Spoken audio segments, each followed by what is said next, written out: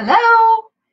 Hey, I decided to pop on just a little bit early today because I have to leave a little bit early today. I am going to do a little self care, which I don't do very often. And the only time they could get me in was two o'clock. I'm actually going to go get a pedicure. I haven't had one for months. Now, the crazy thing is, it's raining. so, you guys would laugh. I'm I'm wearing I'm wearing my Uggs under my loose kind of loungy pants so that I can go get that done. But it's all good, right? Because they're gonna have to put those little slippers on me.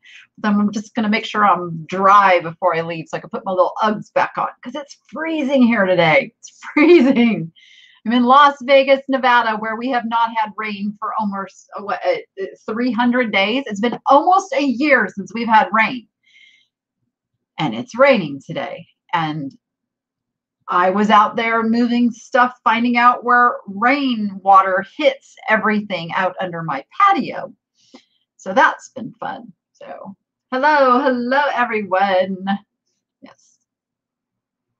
Yeah, um, it's a weird, it's a weird day because we haven't had rain here for so long. Um, and my crazy dog discovered the steps to get into the pool today. I go out this morning. I, we put the dogs out and we let them eat and do their business, and then we call them back in. And I went to call. I mean, the little dogs come right back in, like they're so ready to come back in the house. No, not Xena. I look out, and Xena is standing in the pool like, she's crazy.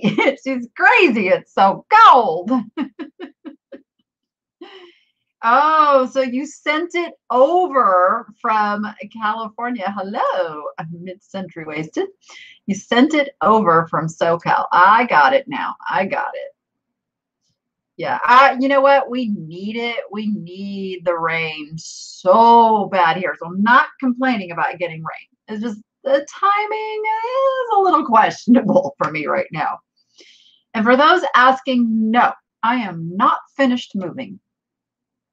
Had a moving truck on Saturday, had a crew of people helping, but we just didn't get it done. We just didn't get it done. It's snowing in Kingman. Wow, okay. Oh, it's not like anybody's going to see my toes anytime soon. So if it smudges, it smudges. It's all good. I'm going for the pampering. I'm going for the pampering. So howdy, howdy, everyone. So you saw the glass video that I put up yesterday, and I was thinking I want to do some more of that type video, and it was kind of fun too.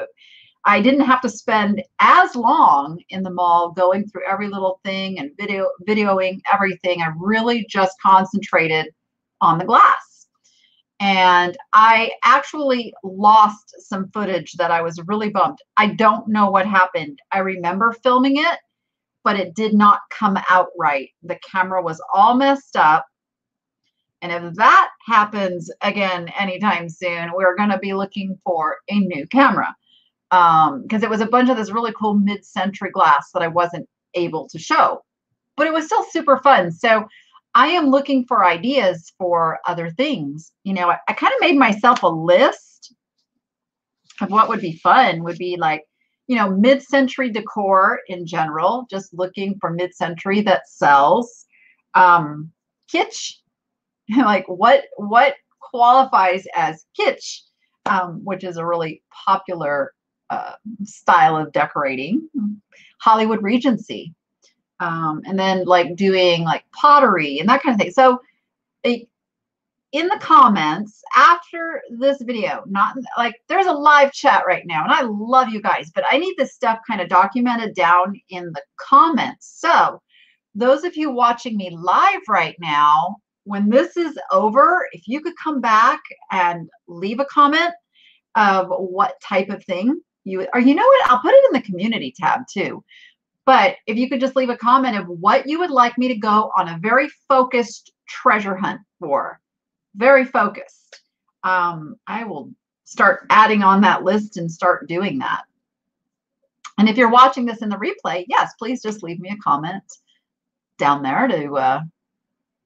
let me know what you want me to go hunting for. So I only bought four things. I bought four things yesterday. How disciplined is that? and three of them are glass, and one of them was just like I had to have it. Oh, by the way, thank you, Melissa, for my little my little turtle friend here. Um, I got that. I got a couple of goodies. I've been really bad about unboxing packages, so I just want to give a shout out. Um, Melissa sent me a couple of little goodies. Um, and then um, I got this.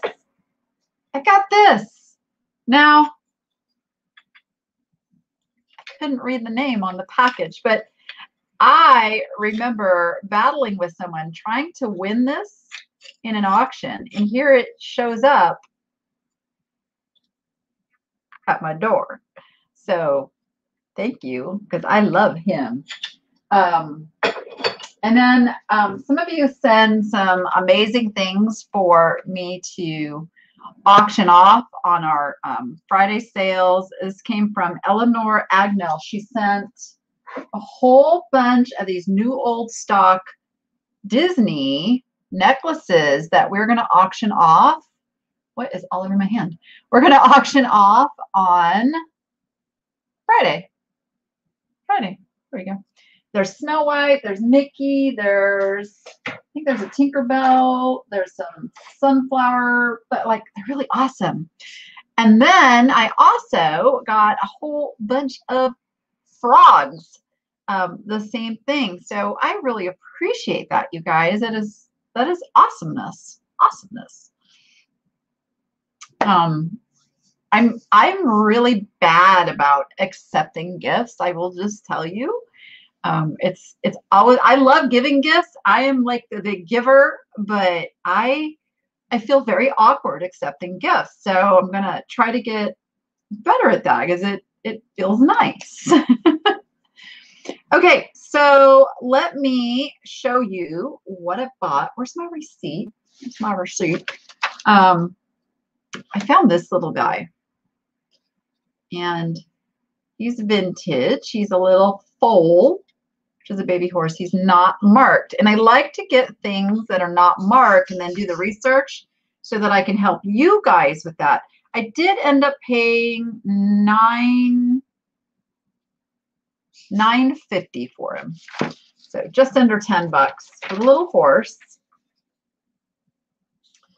And I'm going to share my screen and I think I might have to blow it up a little bit. Boop, boop, boop, Okay. And I'm going to look, what do I know about him? I know he is a vintage horse figurine and he's pink. It's what I know, right? So I'm going to sort by highest. Why do I sort by highest? Because I don't care what the lowest are going for. I ignore the lowest. I want to see the highest. Um, so we got 81 results. That's not so bad. I'm going to look through here. And when I get down to where I can go to the solds, I'm going to go to the solds. And we're going to see.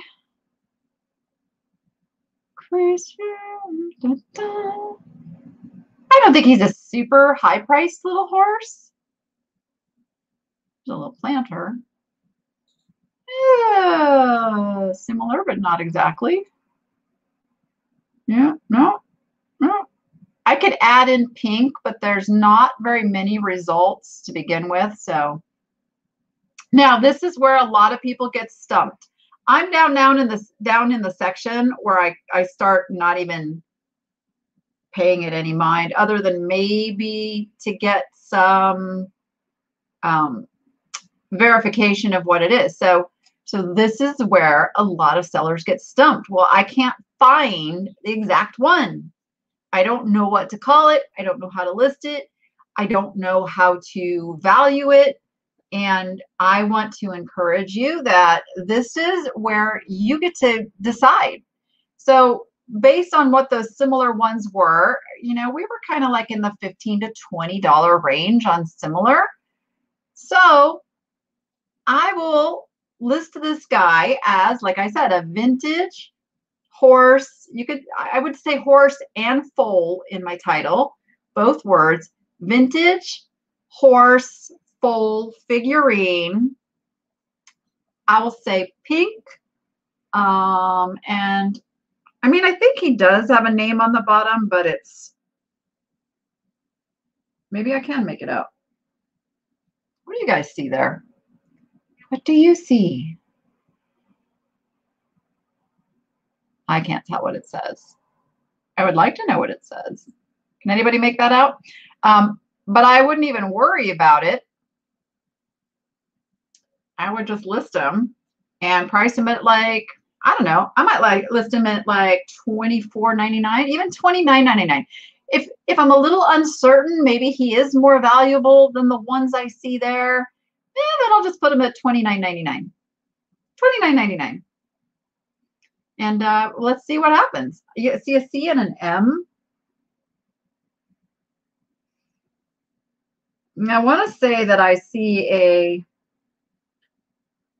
a little curve under the C, making it more like a J.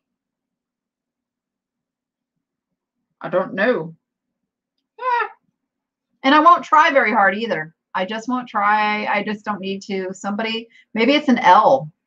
Maybe it's an L.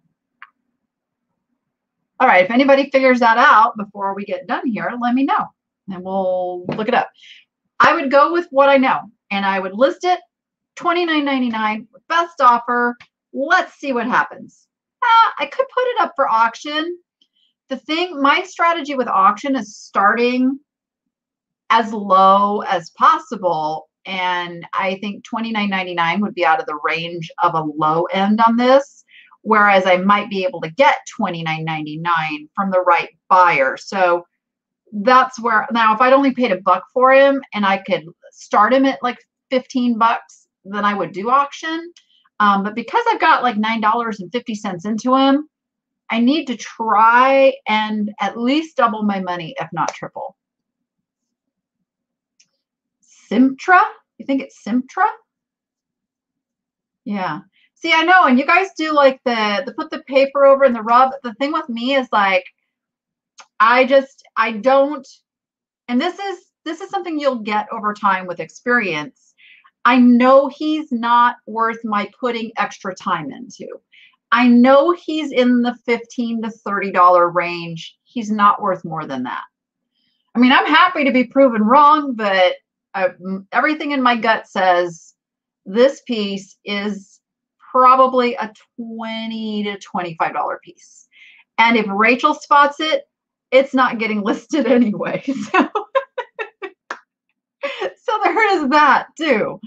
Um, but yeah, I mean, I don't know. I might play around with some of the words.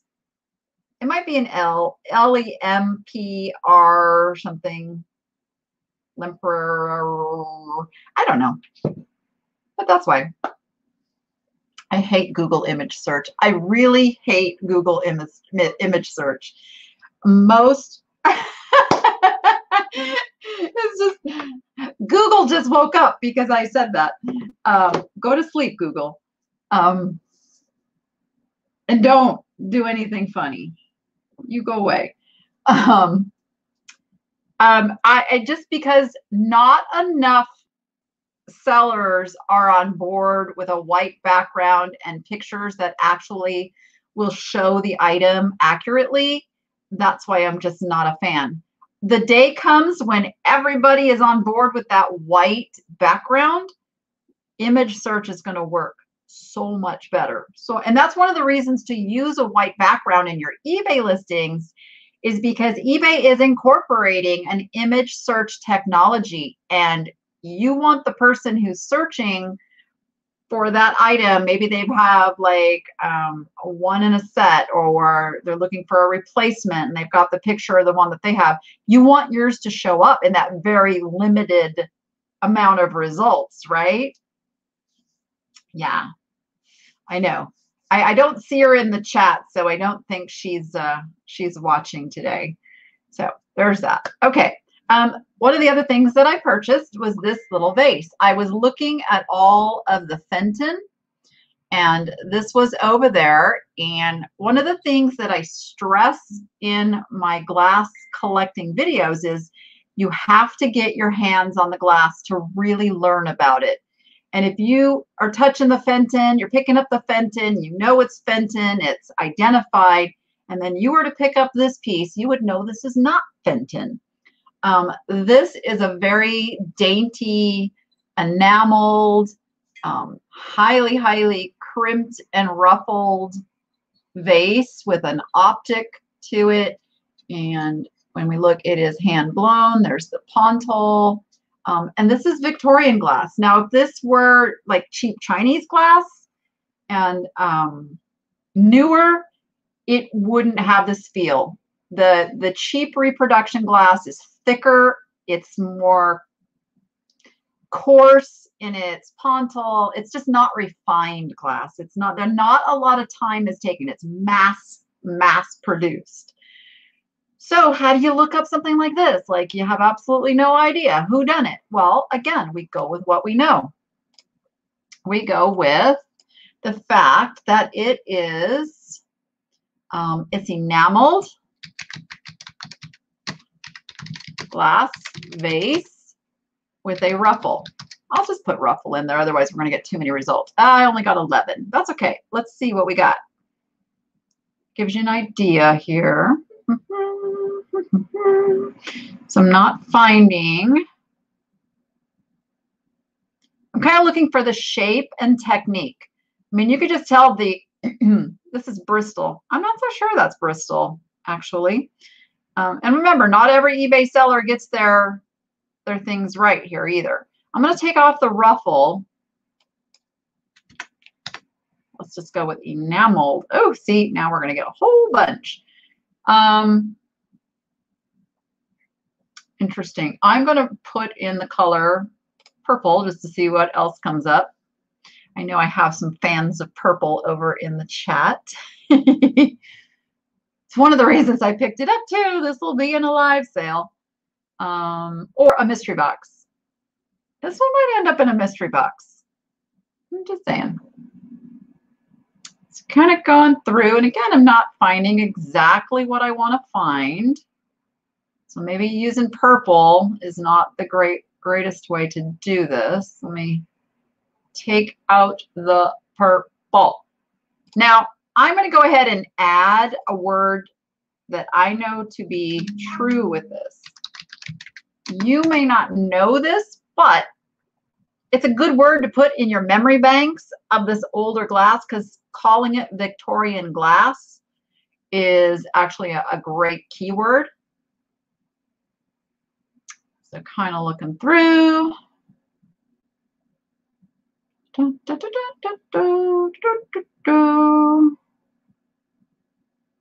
Hmm, I'm looking right now, I'm looking for the shape, specifically the shape on this, this ruffled rim, because this is a, a clue.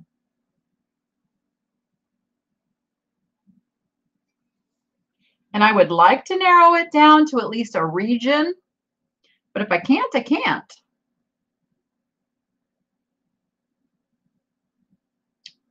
Um, dead air as I go through the results. Oh, big storm and no electric. Yikes. Yeah, I think uh, I don't. Anybody got sunshine? Anyone have sunshine? Where do we need to go visit right now?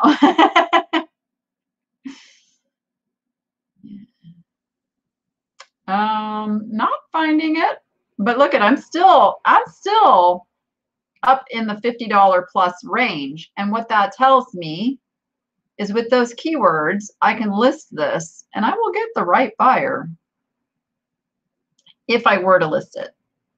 Like I said, I'm pretty sure this is going to go in a mystery box. You want to get in on those mystery boxes. Um, okay, I'm stop there time is limited. I've seen what I need to see. So, oh, it's 80 in Florida. I know, I'm ready to go to Florida. Um, yeah, it's snowing. I won't go where it's snowing. So Victorian art glass blue enamel base. Well, it's actually purple. So I wouldn't call it blue. I would call it purple or amethyst. Amethyst is a sexier word for purple in the glass world. Um, so I would probably put amethyst in the title and make sure I check purple in the item specifics. That way, if somebody types purple, it's still going to come up. It's still going to come up. 71 in Jacksonville. Okay, I'm jealous. I want to go to Florida. um, so I would, if I were listing this, I would list this as Victorian enameled glass vase, crimped, ruffled would be the two words I would use to describe this, crimped, ruffled, optic, and then I would put amethyst. And I this might be an item I would auction, but I would start it at 50 bucks. 49.99 would be my starting bid, just in case it was something really good. I don't think so. I think this vase is in the 50 to 70 dollar range if I was listing it myself. Um, and if I was putting this at fixed price, I would put it probably at mm, probably like $69.99 and expect it to sell for at least 50 bucks. So that's what I would do. That's what I would do.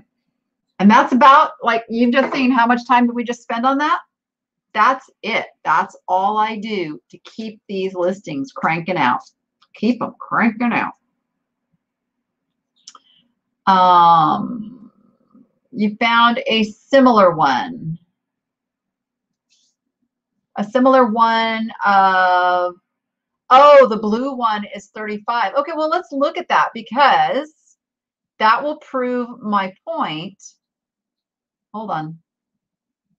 Okay, so that I can't copy and paste, unfortunately. Let me let me see if I can put that in. Victorian art glass vase. Whoops. Wait, glass blue enameled vase. Let me see if I can find the one you're looking at. Is it a sold? Or is it a current listing? Because I don't see it in the solds. Porcelain hot pink horse in Google Images. Okay, I'm getting confused. I'm, I'm reading like about two different things. um, I'm not in the sold seeing a blue enameled. Well, that's kind of, but here's a perfect example. Let me share my screen. Look at this. Look at this vase right here. I'm hoping this is none of you, but I'm going to say that this isn't this is an inexperienced seller. This seller sold this for $10.25 and they could have gotten at least 50. I'm telling you right now, they could have gotten at least 50. Let's pull up the listing.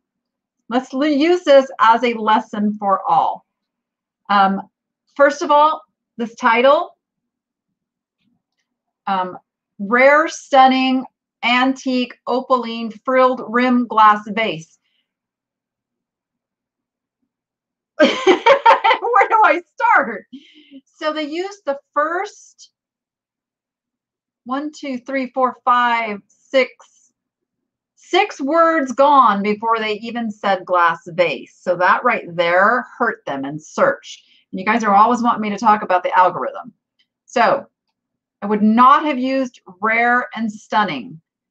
Opaline, I'm not sure. I'm not sure I would call this opaline. Uh, it's possible. Yeah, opaline tends to be more opaque. Um, this looks almost more like an opalescent, but, but maybe opaline's a good word. I would have to research that a little bit. Overseas or not, this is still not a great title. First of all, don't use all caps. Second of all, do not use punctuation. Third of all, don't use words like rare and stunning in your title. Those are description words. Use those in your description. Um, so I would have called this an antique opaline. If I'm just going to go by what they have, antique opaline glass glass vase, enameled. I don't think I would have put blown there either because that's good for the item specifics. So there's a lot of things that can go into item specifics that you don't need to put in the title and use up the percentage of relevant words. And what I mean by that is based on what a customer is putting into search to find this. They're probably they're probably putting in antique opaline glass vase.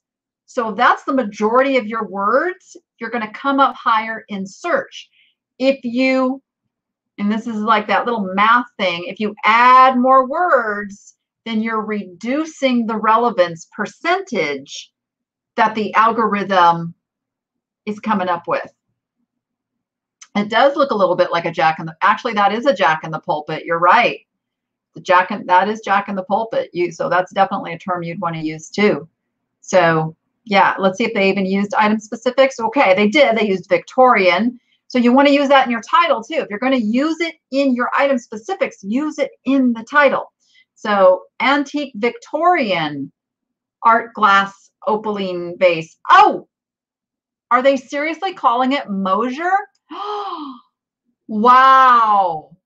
So if they knew it, okay, they're question mark. They think it might be Moser. Okay, I was gonna say, if you know this is Moser, okay.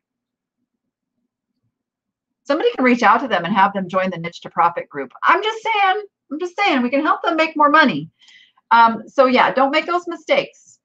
And this is, I don't want you guys, my point is, I don't want you guys looking at a result like that and then thinking that's all yours is worth. I want you to have confidence in the item that you're listing and selling so you know better. So you know, no, no, no, no, no, no. I am not selling this for $10.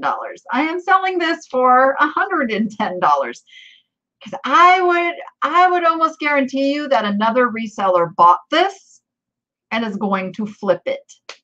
Um, because that's what happens when you price stuff too cheap. It'll happen. I don't want that to happen to you guys. Someone on Facebook Marketplace said something from the 90s was antique. Nope. Nope. Antique has to be 100 years old. That is in the reselling world. 100 plus years is antique. 20 plus years is vintage. So antique right now is 19 up to 19 1921. Yeah. You're in the IT and always argue about always argue with your customers over the search algorithms and their 256 file name. Yeah, it's relevance, relevance, relevance, relevance is the key. I'm telling you, I have worked directly with the, I don't know if he's still the chief technical officer of eBay It's been a few years. Um, but when when Cassini was on the scene and when that was like a hot thing and when item specifics were first coming into play and they were trying to get everybody to use UPC codes and what that was all about. We were talking about how do we develop a system for all of the one-offs to also be in the database and, and all of that good stuff. So there's a lot to it. But the number one, and I'm taking tape off this as I'm talking to you, um, the number one key thing with the eBay search algorithm and probably Google and probably every other search engine out there is relevance to what the person searching is typing in. So the more words you match with what they've typed in, and the higher percentage of the words that match, the higher you're going to come up in search. So that's why phrasing matters. That's why not adding extra words matters. Okay, so there's that. So I also got this little beauty. Now I did pay, what did I pay? I paid $19.50 for this. Seems like a lot, right?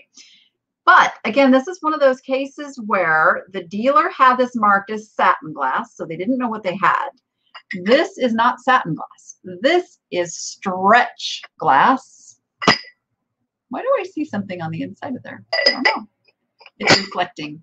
So this is stretch glass, and you know it's stretch glass because of the iridescence. Satin glass is not going to have iridescence. That iridescence comes from the same type of technique used for making carnival glass. They spray a metallic spray, that was redundant, on it, and then they refire it, and that's what gives it that cool iridescence. And the iridescence comes out like stretch marks. So that's how it is called stretch glass. So it's a beautiful stretch iridescent candy jar or dish.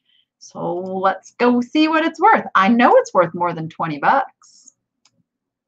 So I'm going to call it a stretch glass candy. I'm just going to put candy. And I'm already sorted by highest first. So here's one done by Fenton. And I'm looking now, I what I'm looking here is to see if if the patterning, if the if the because it's made, it's pressed glass, it's made in a mold. So I'm looking to see if the mold is the same. It is not. Mine does not have any of these little ridges. So okay, I can kind of rule out that it's this Fenton pattern. Dun, dun, dun, Similar, different. There's the Fenton. Aha! I have just found it. Um, so it's Northwood Celeste Blue Stretch Glass. 1916 to 1925. They took a best offer that was uh, probably around 40 bucks based on this. Remember, it's the combination of the shipping and the price. And there's only $10 shipping here. There's 23 here. So add 10 to this. Yeah. So they took an offer in the $40 range. So I knew it was worth, I knew it was worth at least double. Now, again, sold back in November. Let's take a look now that we know what it is. I'm going to call it Northwood. Let's get let's get fine tuned. And it looks like that's about the ballpark. But how many are listed? Oh, well, look at there. Hmm. See? You got to go by what's listed. Now we are bumping up some value here because the sellers are bumping. Oh, I didn't even check to see if it glowed. I don't have my black light with me. This one's at auction. This, now what we found out, this is not the Northwood one. This is the Fenton one. That's interesting. Probably why it's not selling. Yeah, the one with the little ridges it's probably the Fenton one. Northwood didn't use the ridges. So interesting. So this will be in the next live sale. No, not the next one. The next one's jewelry. This will be in the next hard goods live sale. And now you guys have a little head start. And hopefully I make my $20 back. I'm pretty sure I will. You guys love the blue glass, so that's why I picked it up. You know, so you think this one is Fenton and that one listing was wrong because the Fenton was selling for higher money. Brenda says she's 100% sure. I'll dig into it a little more. Yeah, this stuff is only going to sell for more if we collectively raise the prices and we stop taking these lower results and using that as our comps that's the point I'm trying to make to you guys. Uh, you know, what is it? Rising, what is it? Rising tides raise all ships. Did I say that right? And that means that we are all in this antiques collectible, you know, marketplace together. And if we collectively raise those prices, raise the prices on this stuff, I mean, not ridiculously, but get it up where it belongs, other sellers coming along go by those comps and go by those comps and go by those comps. And pretty soon we have this stuff back up where it should be selling.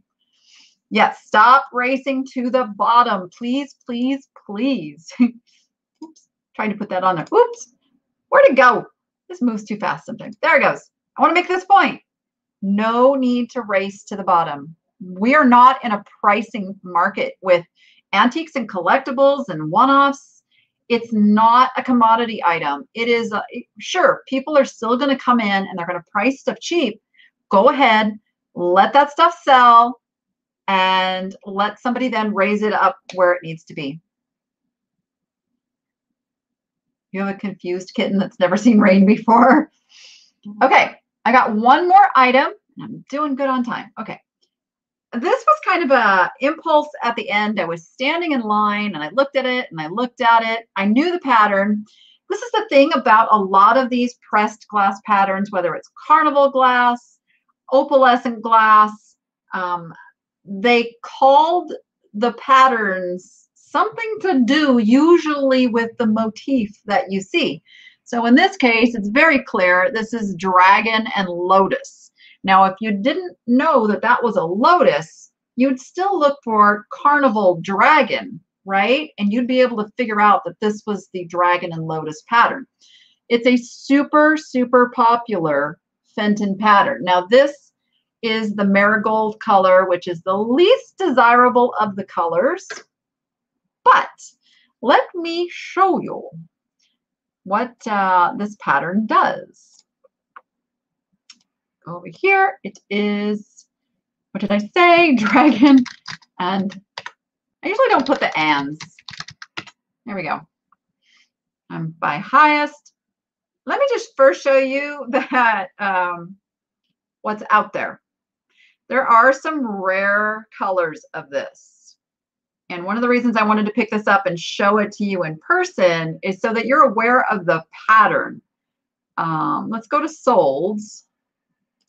Get some reality check here. But yet, look, you find this in red, pick this sucker up.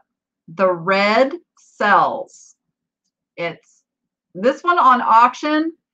Um, this seller probably could have got at least a hundred bucks more than that, but they sold it on auction. Then you've got, this is a peach opalescent. Again, not the greatest of title choices here. Probably why it didn't come up. Had they actually spelled out opalescent, this would have probably brought more, see, one bid. They could have gotten more bidders on this. Again, the red, the red, the red. That one's even as is. Check that out. As is, still brought over a hundred bucks. So you can see this is a very, very desirable, again, don't say opal. It's opalescent. Opalescent. Ruffled bowl, not bad. Now we're getting into the cobalt blue. But yeah, this is a pattern to keep your eyes open for wherever you're going. And you know, if you look at these comps, you know you can pay 20 $25 for this and still turn a really good profit. We're still in the $70 range here. And now we get down to um, a marigold color. Now we're at 63. They just called it orange. Back down to the blues. Pumpkin marigold. Like what they called that one there. So we're in the 60 to $70 range on this bowl, 45 with a bid. Um, not a bad title. Not a bad title. 45, 45, 40. So yeah, I know I'm at least at $40 on this item. And then you're going to get down into sellers. Let's go down here. You're going to get down into results where you're going to go, oh, I saw one for $10. I saw one for $25. $25. And then a lot of sellers will go, well, that's all I can ask for mine. What I want you guys to know you can sell this for 40 to $50. You don't have to sell it that cheap. And I encourage you not to. So, and a lot of the dealers at the antique malls are looking at those 20 $25 results and that's how they're pricing it. So I did pay 35. I paid 35, but I paid that mostly because I wanted the piece as a lesson piece. Yeah. Paying up for items can really, really be valuable because you're not going to find, you're not ever going to find this at a Goodwill for 10 bucks. The Goodwill people are going to be savvy enough to, to search dragon glass bowl. Most of them know it's carnival glass. They're going to find comps that are up there. I suspect they would price it like 2025. So you know it's still a good deal at 2025, right? So that's how you start gaining your knowledge so you can pay up for things and know where your margin is. I would much prefer to sell one item and make a 50 to 100 dollar price margin than to have to sell 10 things to make that same amount of price margin. That makes sense? So sometimes paying up works, but you have to know, you have to know your niche. You have to know your stuff. That's that's the whole thing. Once you really fine tune it and you know it, you can grab those things on instinct. There you go. don't make you bid on those cheaper rates. I know. I used to do a lot of that. I used to do a lot of that. And I used to sometimes feel guilty. And, and I've gotten over that because we all have access to the same information. There, I mean, I not to spout my YouTube channel, but this is free information. Is anybody can learn this. Not everybody will take the time to learn this. You guys taking the time to learn this pat yourself on the back because it's going to put you ahead of 90% of sellers out there. I'm just saying, most people don't want to do the work. They just want to list it and have it sell for for big money or just get rid of it and sell it for what they can sell it for. So that's why niche is rich, as they say. All right. Okay, guys, I have about five minutes left because I have to get somewhere by two o'clock. So I just want to kind of focus my attention over on the chat and answer any questions that you guys may have over there. And um, yeah, Friday will be our jewelry sale. So if you saw my uh, shopping at Dog Junkies, uh, all those awesome pins that I got there, those are coming up in Friday sale as well some other stuff you haven't seen. So as I've been moving, I've been finding little stashes of jewelry that I tucked away that I forgot I had. Yes, my little, my little turtle, turtle, my turtle necklace. I think he's dichroic glass too.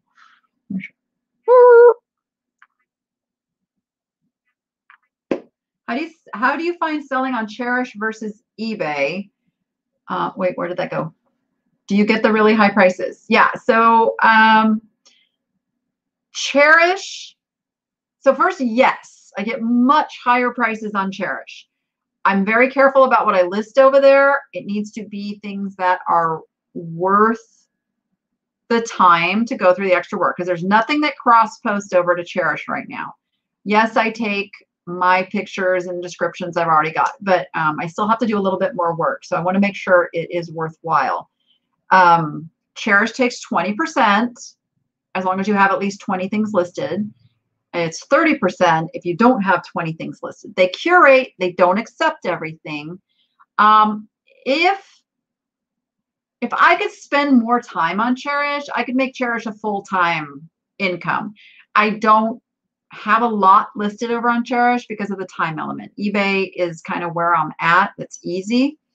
Um, but I do love the prices I get on Chairish versus eBay because it is a completely different customer base. It is interior decorators. It is people spending other people's money. That's really key. They are not so much looking at price as long as it's within their budget. They're looking at does it fit in this style that I'm putting together. So Chairish is pretty awesome. Um, but but put your better stuff over there. At some point, can you share how to tell if jewelry is gold, gold filled plated? I get really confused. I do too. I have to go by what it's marked. Honestly, I'm not a jewelry expert. That's why I do the jewelry sales because I can answer questions, explain what I know versus having to put something in the eBay listing that I may not be able to figure out. You really didn't make money. ah, slow down, slow down here. I really didn't make money when I had a booth. Not worth the effort for me in my area, but it was a hoot and I enjoyed the experience. You know, that's kind of where mine is too. Um, I enjoy merchandising. I enjoy, you know, just playing around in my booth and spending time in there. So the booth, yeah, uh, at the end of the day, I'm really not making any money at the booth. I'm not working the booth either. In all fairness, I'm not working it. I'm not there all the time making it all look good either. So if I was really working it, I'd probably make yeah, four or five hundred dollars a month profit. Uh, but I'm I'm pretty much breaking even. Kind of like more like a hobby right now because I don't have the time to put into it. It's a time investment. A booth is a time investment for sure. The name of the app for cross posting is list perfectly. And down in my description of every video, there is a link with a code that gets you 30% off to try it for, for the first month. So be sure you use that, get that deep discount if you want to check it out. Yeah. I love List Perfectly. Love List Perfectly. I could not do all the cross posting without it. I just couldn't do it. It it saves me so much time and pays for itself. 100%. I saw an alabaster trinket box listed on Chairish for $900, but on eBay for around 30 to 40. Yeah, that's not that it'll sell for 900, but um, it's definitely going to sell in a higher range than on eBay. It's just a different clientele eBay, eBay is the online flea market, you know, where you expect to get things a little cheaper. So that's why I say build your own brand, your own store, your own following, and you'll get better prices. That crazy lamp lady, perfect example. She has built her brand. She has built her following. She has 150,000 followers on her eBay store. You can build that. And then people want to come shop from you. It's a it's a long process. It's going to take work. It's not going to be an overnight thing. And um but it's doable. It's doable. Yay hazel. And do inventory at the same time. Yes that's true. How much time do you put into into ebay to get three to four thousand dollars out of it um, you know, it's it's really interesting. It depends what you consider the time. So you source. I don't really count that time. I count that in my YouTube time because I have to do that for my YouTube videos. I have to bring the stuff home and log it in. Okay, that counts towards eBay. You know, that takes me maybe, depending how much I buy, up to 30 minutes. Um, listing, I can list. What I figured out is I can list, research, list, and ship an item in like 15 minutes. So that's four items an hour.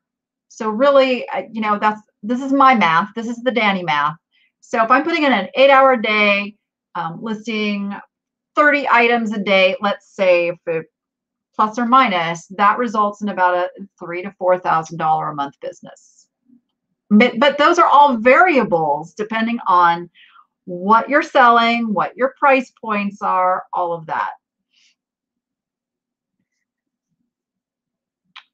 Oh, it's a height thing. Candle jar. Okay. I'm, I'm reading uh, Brenda's comment over here about the the candy jar. Okay, that's worth doing. Yeah, a lot of this stuff is by measurement too. That is so true. I Forgot about that point. Yeah. Think you're wasting time somewhere, analyze it. Analyze it. If you are doing this as a business, if this is a serious business thing, you need to know. You need to know how long it takes you to list, how long it takes you to do the photos, how long it takes you to do your research. You need to know all those things so that you can either raise your ASP, your average selling price, and bigger margin, or reduce those time wastes. All right. I have to go. I have an appointment and I don't want to drive fast in the rain. So thank you everyone for, for hanging out with me and uh, watch for some more cool videos this week. Come back to the live sale on Friday at 1 p.m. and go be profitable and make it fun. And we'll see you on the next one. Bye, everyone.